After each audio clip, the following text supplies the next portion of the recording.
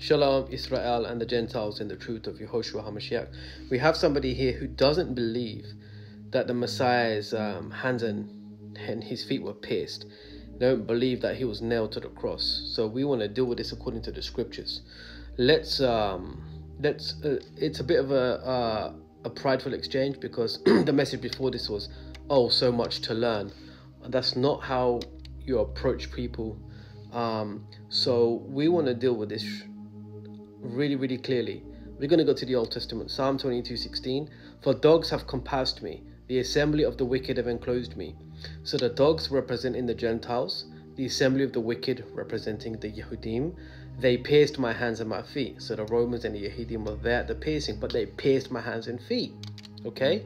It's very, very straightforward. They pierced. Now let's go to the book of Mark. the book of Mark, it says, uh, and when they crucified him, okay, they parted his garments, casting lots upon them, what every man should take. And it was the third hour they crucified him.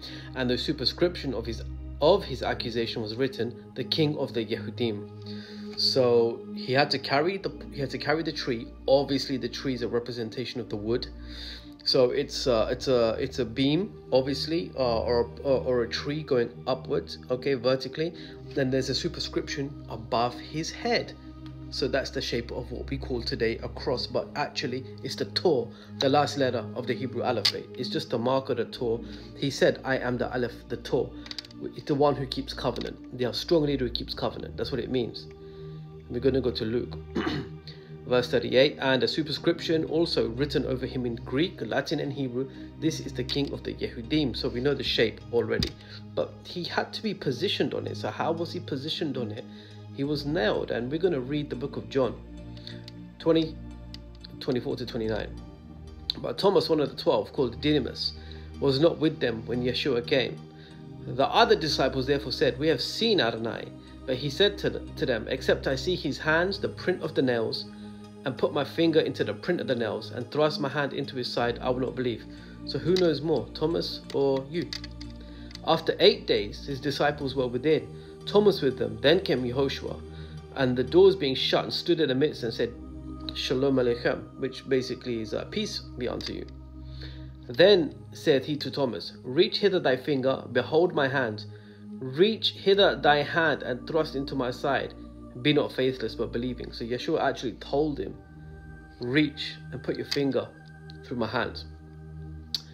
So you don't think that hands uh, can be pierced because your understanding of a hand is like here, but in Hebrew it can actually mean this entire thing. It can, it can mean obviously we have the arm here, we have the yod and the yad, but it can actually mean this entire thing.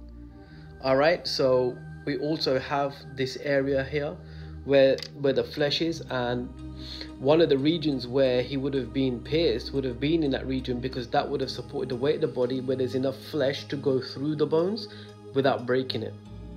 That's actually scientifically proven. So you just need to do a bit of reading. You need to be a person of prayer and fasting to understand this without spreading um, controversy and confusion in the body of Mashiach. So hopefully that clears it up with scriptures and just giving a small example of like the body, the anatomy of how it actually can be true. So Yehoshua um, be with you uh, all and hopefully this deals with some of these conspiracy. Wasn't nailed. Obviously he was. Scripture said it and he and he was. And hopefully the whole issue of the cross is a translation it's the Torah obviously um, upwards and then going across the superscription and his hands were stretched out. His hands were stretched out in the kaph. Now you know now we're going to get into some hebrew mysteries. His hand the kaph is the blessings of the hand. His hands were stretched out the priestly blessings.